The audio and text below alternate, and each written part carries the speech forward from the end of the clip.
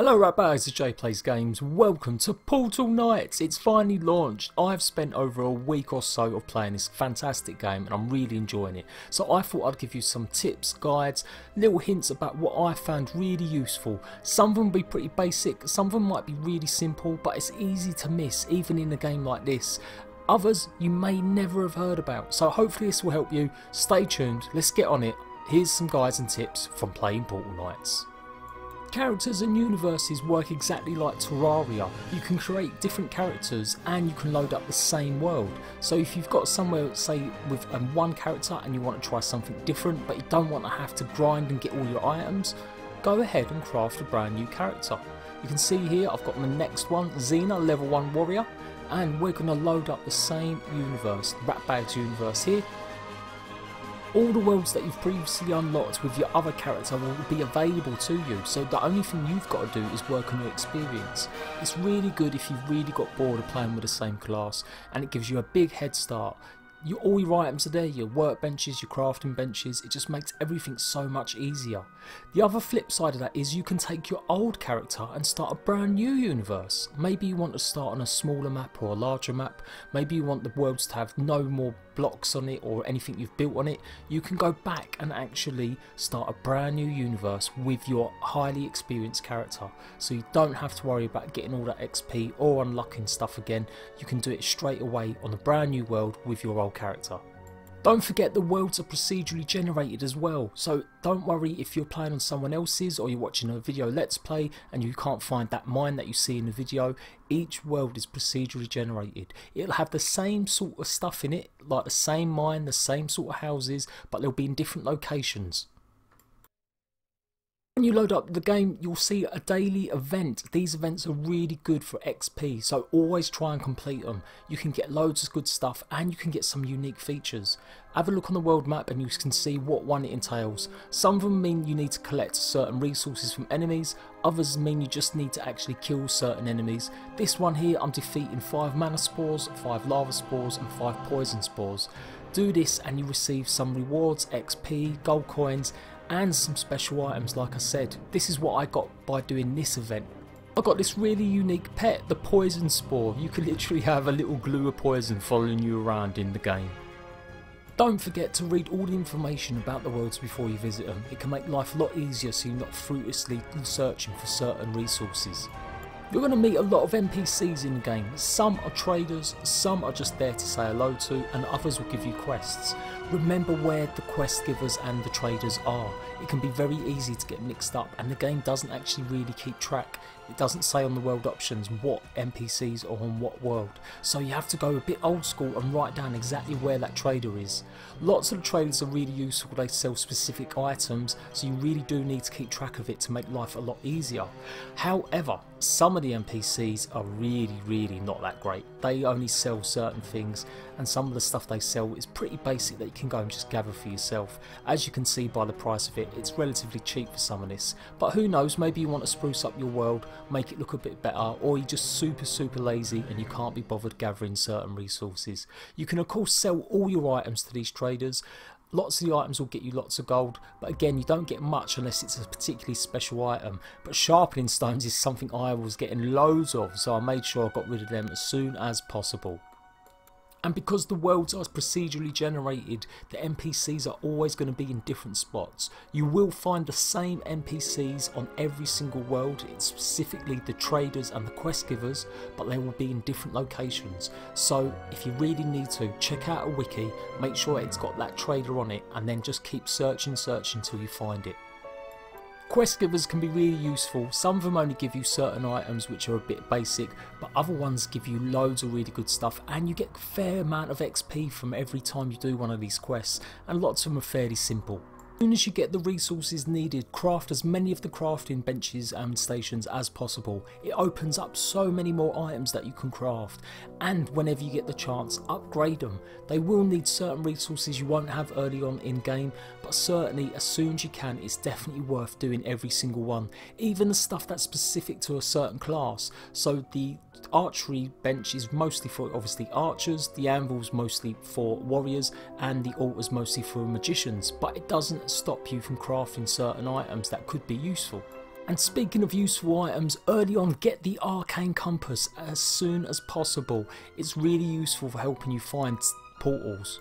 It costs mana to use but you can see here it highlights different portals. So whatever portal is whether it's a blue one or yellow one or red one or green one it will show exactly where the direction is. As you get closer you can see it gets even bigger so you know exactly where you are. After that you've just got to dig down if they're underground which most of them are and then you will definitely find your portal. It's not always exactly specific it's just in that area but you will find it like I found this one right here you probably want to go building a base straight away, but I would say hold off, wait until you can unlock some of these other tools. You'll get resources a lot quicker and a lot better if you can wait and get some of this stuff, particularly the lumberjack axe, the copper pickaxe and the mining drill. It makes gathering resources for building so much easier. You unlock attribute points and talents as you progress through the game. Don't forget to apply these. I totally forgot this and I had 16 points before I realised I could help myself with better skills and better talents. You can then choose between what specialisations you want and it really helps out. If you're a warrior, you might want to put more points into constitution and strength. This means you'll be able to face off against enemies close quarters and be able to take quite a few hits. If you're a ranger class you might want a bit more in agility and dexterity so you can run around and attack enemies from range. And if you're a mage you probably want a little bit more in wisdom and intelligence. This will make spellcasting a lot easier and not as expensive on your mana. Of course you can do what you want and put the points exactly where you want. Maybe you're a ranger who likes using knives, then that means you probably will be close up to enemies so you would want a bit more points in constitution and strength or maybe you're a mage that wants to use close-up encounters using your scythe. So again you might put points in it. Play around with it have a little muck around. But like I said generally these are the points associated with each class. With the talents as well, make sure you mix and match as you play the game. You might have put your specialisation in bows but then decided you want to use your sling, so make sure you put the actual buff, the talent, onto actual sling specialisation. It's easy to forget some of these, especially as you get right into the game, but they unlock at each levels of 2, 5, 10, 15, etc. Meaning you're going to have even more talents to use, so definitely mix it up. If you've got a particular boss you're finding really hard, check to see if some of your talents will give you the upper hand. There's over 47 worlds to explore in Portal Knights and quite a few bosses. You might want to get to the bosses a lot quicker, so plan and map out exactly how you're going to do that. Lots of the worlds will have two portals, so each portal will take you to a different direction or different world, so really plan it ahead. Remember to use your arcane compass to find out exactly where the portals are on each world. And don't forget you can get information about how many portals are on each world by taking a look at the island details by pressing the A button or the X button. But just because you can get to the bosses quicker doesn't mean you should. The bosses are really hard, you really got to be prepared, making sure you've got enough skills and talents to actually fight and take on the boss, or at least have lots of resources so you can defeat them. You may need to go and visit other worlds to get certain resources, or just get a bit more experience before taking them on. But if you're fairly confident, you can really skip one or two worlds on the way to the bosses so you can get there even quicker.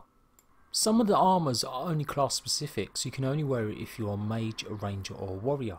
But as soon as you unlock the anvil and the actual crafting bench too, you'll be able to unlock and make a lot more armour. There's a huge amount of choice and you can wear any type of com armour combination. These ones can be worn by any class, you don't have to be a mage, a warrior or a ranger to wear these, you can be whatever one you want.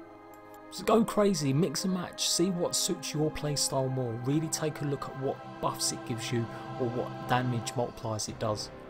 The same goes for weapons too, once you unlock Anvil 2 you'll be able to craft a lot more choice in weapons and you get bonus recipes from defeating bosses.